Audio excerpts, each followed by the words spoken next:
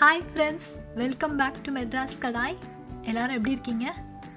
Okay இன்றைக்கி நம்ம பார்க்க போகிற ரெசிபி ஒரு மிட்டாய் ஐட்டம் இந்த மிட்டாய் பார்த்தீங்கன்னா திருவிழா டைம்லலாம் இந்த மிட்டாய் ரொம்ப ஃபேமஸ் திருவிழா டைம்லன்னு இல்லை எல்லா டைம்லையும் தான். பட் திருவிழா காலங்களில் கண்டிப்பாக நீங்கள் இந்த மிட்டாயை பார்க்க முடியும். சரி வாங்க. இப்போ நம்ம வீடியோவில் போயிட்டு அது என்ன மிட்டாய்ன்றதை பார்க்கலாம். அது எப்படி பண்ணலாங்கிறதையும் பார்க்கலாம்.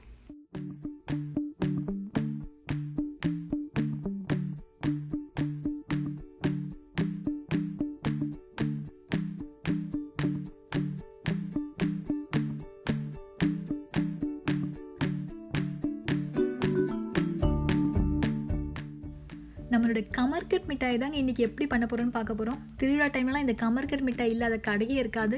எந்த கடையில் ஒரு கடையிலையாவது இந்த கமர்கட் மிட்டாய் கண்டிப்பாக இருக்கும். ஸோ இந்த கமர்கட் மிட்டாய் பார்க்கும்பொழுதே வாயில் எச்சி விடுற மாதிரி இருக்கு இல்லைங்களா? இந்த மிட்டாயை தான் நம்ம இன்றைக்கி எப்படி பண்ண போகிறோன்றதை பார்க்க போகிறோம் சிம்பிளுங்க ரொம்ப சிம்பிள் ஒரு மூணே மூணு ஐட்டம் தான். இதை வச்சு சூப்பராக சிம்பிளாக ரொம்ப குயிக்காக நம்ம இந்த கமர்கட் மிட்டாயை பண்ணிடலாம். வாங்க எப்படி பண்ணுறதுன்னு பார்க்கலாம்.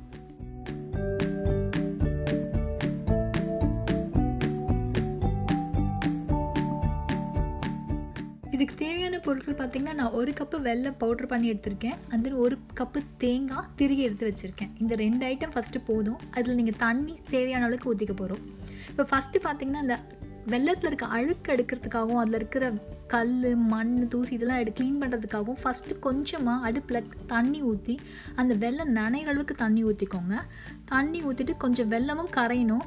அந்த கரையிற அளவுக்கு பார்த்துட்டு அதுக்கப்புறமா அதை ஃபில்டர் பண்ணி எடுத்துக்கலாம். அதை ஃபில்டர் பண்ணும்போதே தெரிஞ்சிடும் உங்களுக்கு. நமக்கு அதில் இருக்கிற கல் மண் எல்லாமே வந்துடும் ஓகே இப்போ ரெடி ஆகிடுச்சு இந்த ஸ்டேஜில் இப்போ நம்ம ஃபில்டர் பண்ணிடலாம்.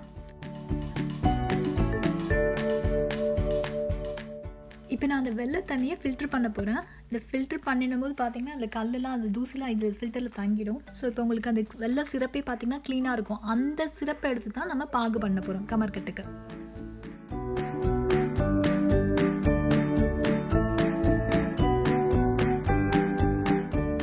இப்போ இந்த சிறப்பு ரெடியாக இருக்குது இந்த சிறப்பை ஒரு பாத்திரத்தில் அடுப்பில் வெ பற்ற வச்சு நீங்கள் காய்ச்ச ஆரம்பிங்க. இப்போ தண்ணியாக இருக்குது பாருங்கள் இது நல்லா சுண்டணும். கம்பி பதம்னு சொல்லுவாங்க இல்லைங்களா?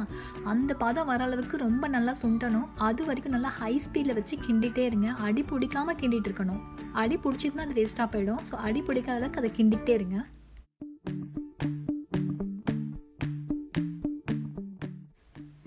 இந்த ஸ்டேஜ் பார்த்தீங்கன்னா கொஞ்சம் திக்காக இருக்குது இது இன்னுமே கொஞ்சம் திக்காகணும் இன்னும் கொஞ்சம் நல்லா கலரி விட்டுக்கிட்டே இருக்கணும். இதில் ஒரே ஒரு வேலை என்னென்னா இந்த கமர்கட்டைக்கு இதை பொறுத்த வரைக்கும் இந்த வெள்ளை பாகு தாங்க கலரி விட்டுக்கிட்டே இருக்கணுங்க நீங்கள் விட்டீங்க கொஞ்சம் விட்டால் கூட உங்களுக்கு அது தீஞ்சு போயிடும். ஸோ கலரி விட்டுகிட்டே இருங்க. சரி இப்போ கொஞ்சம் கட்டியாக இருக்குது நான் இந்த ஸ்டேஜில் நான் எப்படி இருக்குன்றதை உங்களுக்கு காட்டுறேன். அந்த பதத்துக்கு வரணும். இதை நீங்கள் கையில் எடுத்திங்கன்னா ரொம்ப சூடாக இருக்கும். ஒரு பாத்திரத்தை தண்ணி விட்டுக்கோங்க. தண்ணி விட்டு அதில் ஒரு ட்ராப் விடுங்க. அந்த ட்ராப் விட்டிங்கன்னா அந்த சிறப்பு பார்க்கும்பொழுதே பார்த்தீங்கன்னா நல்லா கட்டியாக ஒரு சின்ன உங்களுக்கு ஒரு பால் மாதிரி வருது இல்லைங்களா? ஒரு மணி மாதிரி இருக்குங்களே முத்து மணி மாதிரி. இந்த பதத்துக்கு இருக்கணும். இந்த பதத்துக்கு இருந்துச்சுன்னா அது ரெடி உங்களுக்கு. ஸ்டவ்வை ஆஃப் பண்ணிவிடுங்க இல்லைன்னா ஸ்டவ்லேருந்து கீழே இறக்கி வச்சுருங்க பாத்திரத்தை. இல்லைன்னா அடி பிடிச்சிரும் ஸோ இப்போ ரெடியாக இருக்குது இப்போ நீங்கள் எடுத்து வச்சுக்கிற தேங்காய் அந்த ஒரு கப் தேங்காவை இந்த சிரப்போடு ஆட் பண்ணிக்கோங்க. இப்போ தேங்காய் ஆட் பண்ண உடனே திரும்ப நீங்கள் ஸ்டவ்வை ஆன் பண்ணிக்கோங்க. ஸ்டவ்வை ஆன் பண்ணிவிட்டு நல்லா கலரி விட்டுட்டே இருங்க. உங்களுக்கு ஒரு மீடியம்லேருந்து ஹை ஃப்ளேம் வர வரைக்கும் நல்லா வச்சுக்கலாம். ஆனால் அது பக்கத்துலேயும் நின்று கலரணும் நீங்கள் ஸோ அதனால் கலர் விட்டுட்டே இருங்க. அப்போ நல்லா டைட்டாக அடி பிடிக்கிற மாதிரியும் போகும் உங்களுக்கு. ஸோ நல்லா கிண்டிக்கிட்டே இருங்க. நல்லா கட்டி ஆற மாதிரி உங்களுக்கே ஃபீல் ஆகும். அந்த டைம் வந்துச்சுன்னா நீங்கள் அப்போ ஆஃப் பண்ணிக்கலாம். இப்போ பார்த்தீங்கன்னா இது நல்லா கட்டியாக இருக்குது இந்த ஸ்டேஜில் நான் வந்து ஒரு ஒன் டீஸ்பூன் நெய் ஆட் பண்ணிக்கிறேன். அந்த நெய் ஆட் பண்ணும்போது இன்னுமே ஃப்ளேவர் சூப்பராக இருக்கும் உங்களுக்கு. இதை பார்க்கும்போதே பாருங்களேன் அந்த கமர்கிட்ட அந்த ஒரு ஃப்ளேம் வந்து எனக்கு நல்லா ஸ்மெல் அடிக்குது. அதெல்லாம் அது பார்க்கும்போதே வாயில் வச்சு ஊறுதுங்க எனக்கு. இப்போ நீங்கள் ஸ்டவ் ஆஃப் பண்ணிக்கலாம் அது போதும். நான் வந்து ஒரு பட்டர் ஷீட்டில் அதை ஸ்ப்ரெட் பண்ணி விடுறேன். உங்களுக்கு இல்லை அப்படின்னா நீங்கள் ஒரு தட்டில் கூட போட்டுக்கலாம். தட்டில் போட்டு ரொம்ப ஆறக்கூடாது. இது நல்லா உருண்டையாக பிடிக்கணும்னா இப்போ நீங்கள் தொட்டிங்கன்னா அது ரொம்ப சூடாக இருக்கும். கொஞ்ச நேரம் அது ஆறட்டும். ஒரு வெது வெதுப்பான டைம் வர வரைக்கும் நீங்கள் அதை உருட்டி விடுங்க. இந்த மாதிரி உருட்டியும் பண்ணலாம். இல்லை நீங்கள் தட்டில் போட்டு நல்லா பரப்பி விட்டுட்டு கொஞ்சம் கொஞ்சமாக கையில் எடுத்து கூட நீங்கள் ரவுண்டாக உருட்டலாம்.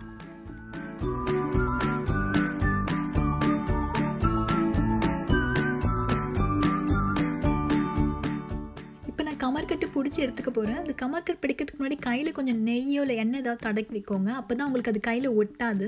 ஸோ இந்த மாதிரி குட்டி குட்டி பால்ஸாக மேக் பண்ணிக்கோங்க. கமர்கட் சைஸ்க்கு குட்டி குட்டி பால்ஸாக மேக் பண்ணிங்கன்னா அது நல்லாயிருக்கும். ஸோ இது ஒரு தட்டில் வச்சுட்டிங்கன்னா அது கொஞ்சம் நேரம் ஆறணும். அது ஆறுனதுக்கப்புறம் நீங்கள் ஏர்டைட் பாக்ஸில் போட்டு ஸ்டோர் பண்ணி வச்சுக்கலாம்.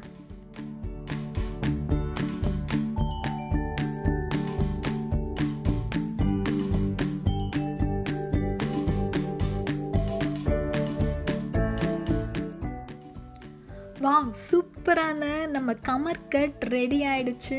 செம்மையாக இருக்குங்க பார்க்கும் பொழுதே ரொம்ப நாள் ஆச்சு இந்த மாதிரி கமர் கட் செஞ்சு சாப்பிடணும் அப்படின்ட்டு நீங்கள் விருப்பப்பட்டீங்கன்னா உடனே போய் உங்கள் வீட்டில் இருக்கிற தேங்காய் எடுத்து செஞ்சு பாருங்கள் ஓகே ஃப்ரெண்ட்ஸ் இந்த ரெசிபி உங்களுக்கு பிடிச்சிருந்ததுன்னா லைக் பண்ணுங்கள் ஷேர் பண்ணுங்கள் மறக்காமல் மெட்ராஸ் கடை சேனலை சப்ஸ்கிரைப் பண்ணுங்கள் அப்படியே பக்கத்தில் இருக்க பெல் ஐக்கானையும் கிளிக் பண்ணுங்கள் அப்போ தான் நாங்கள் போடுற போகிற அடுத்த ரெசிபிகள் என்னெல்லாம் வருதோ அதெல்லாம் நீங்கள் தொடர்ந்து பார்க்க முடியும். கவலையை மறப்போம் அறுசுவை உணவை ருசிப்போம். மீண்டும் நான் உங்களை அடுத்த ஒரு இன்ட்ரெஸ்டிங்கான ரெசிபியோட சந்திக்கிறேன். Until then take care bye